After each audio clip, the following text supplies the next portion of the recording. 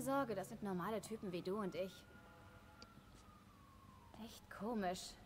Die haben mich noch vor zwei Minuten angerufen. Mann, wirklich süß. Pass auf. Risky Devil Hackfleisch, ihr seid erledigt! Okay, okay, ich gebe auf. Das war Cooks Oh, wirklich? Mit Schweinemasken. Was sagt ihr dazu? Ehrlich? Du bist die auserwählte Pizzaschneiderin, was sonst? Das sind die Jungs, die du treffen solltest. Was geht ab, Kumpel? Ich kenne deine Moves, du Killer. Echt, Barbara. Ja, aber wenn du dich mit den Jungs anlegen willst, brauchst du mehr Respekt. Komm schon, verbeul deinen Schlitten. Demolier ihn richtig. Dreh ihn hoch und zeig's den Reifen. Bist du bereit für sowas? Gib her.